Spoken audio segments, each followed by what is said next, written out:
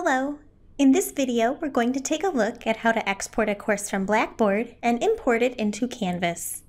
To begin, log into Blackboard at blackboard.case.edu.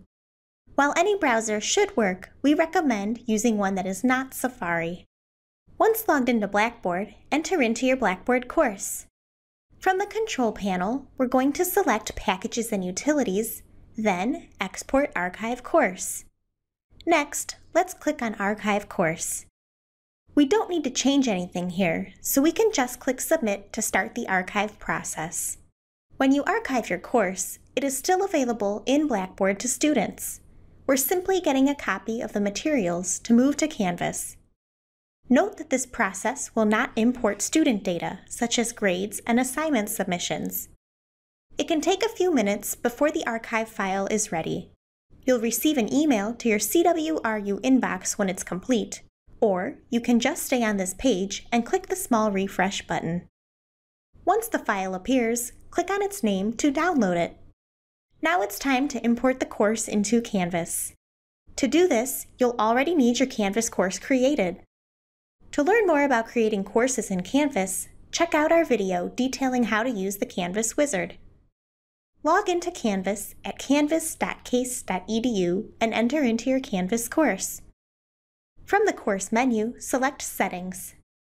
Depending on the size of your screen, this next button may appear on the right of your screen or at the bottom of the screen. We want to click on the Import Content into this course button. From the drop-down at the top of the page, select Blackboard 6789 Export Zip File. Click on the Choose File button and select the file that you downloaded from Blackboard. Please note that this should be a zip file.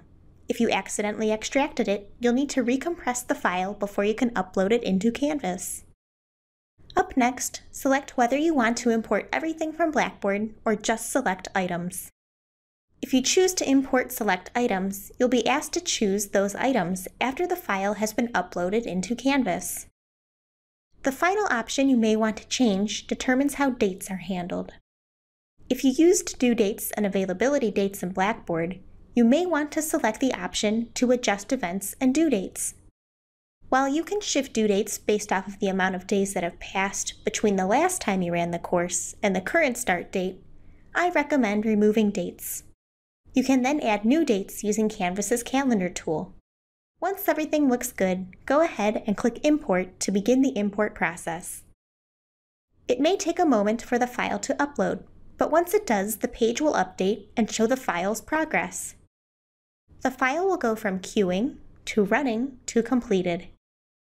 If you chose a select import, you'll see a button here asking you to choose your content to import. Otherwise, you can leave this page. Depending on the system load and the size of your file, the import process could take a few minutes to complete. You can return to this page to monitor the status of the file upload. Once the import shows as completed, you're all set. Your Blackboard content has now successfully been moved to Canvas. At this point, we recommend checking your course to make sure everything came over as expected. Some items, such as images and test questions and rubrics, don't come into Canvas and will need to be recreated. Other items may have come over that you don't need, such as duplicate assignment groups on the Assignments page. Take some time now to familiarize yourself with where your content now lives, clean up anything that needs to be updated, and ensure due dates are set properly. If you have any questions or concerns about this process, please contact either Canvas support through the Help button in Canvas or the CWRU Service Desk at 368 HELP or at help.case.edu. Thanks for watching!